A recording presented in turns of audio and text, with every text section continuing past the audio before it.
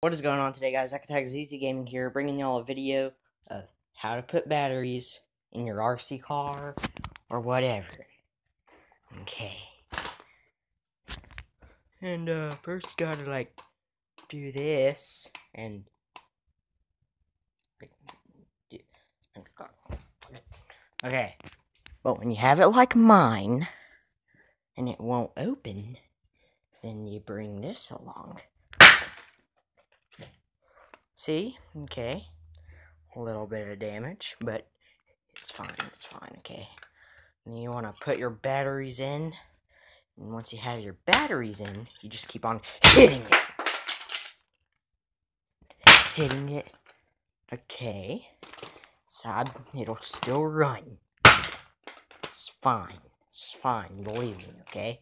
I'm expert at this. But then if you don't want to hit it too hard, then you just use the side.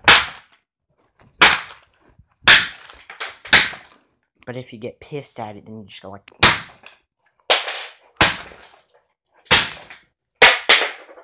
Okay, guys. I think I did a pretty good job, if you don't, if you ask me myself. Ah! Okay. So let's do a jam.